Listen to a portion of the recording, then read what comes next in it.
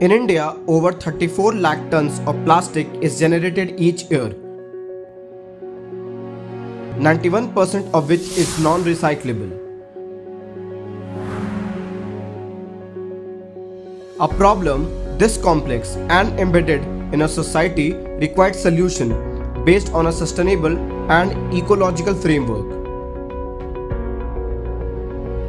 To combat the growing menace of plastic, the team introduced Project Dhara, whose paramount goal is to replace plasticware with an age old handicraft of pottery and simultaneously help the community of potters by providing them with a sustainable source of income.